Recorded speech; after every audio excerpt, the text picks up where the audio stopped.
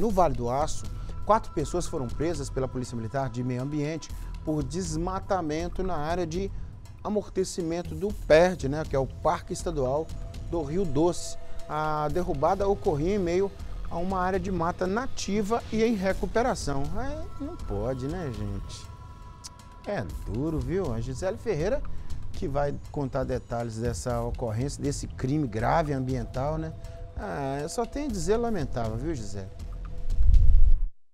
Pois é, Nico, lamentável a gente dar uma notícia dessa, né? Justamente em quando as condições climáticas já não são favoráveis, as expectativas também em relação a isso não são boas e agora a gente teve o registro desta ocorrência, a derrubada desta árvore acontecia em uma área de vegetação nativa, em recuperação aqui em Timóteo, na APA Serra de Timóteo. De acordo com a Polícia Militar de Meio Ambiente, os funcionários da empresa empresa foram das empresas, eram duas empresas responsáveis por essa, por essa derrubada de árvores, foram pegos em flagrante fazendo o desmatamento da área.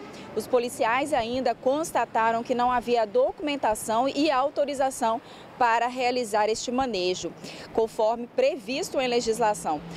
Diante dessa situação, foi lavrado um auto de infração para cada funcionário e também para duas empresas responsáveis pelo desmatamento. A área ficou suspensa até a devida regularização junto ao órgão ambiental competente e as máquinas foram apreendidas. Esta ocorrência já foi encaminhada ao Ministério Público. Nico.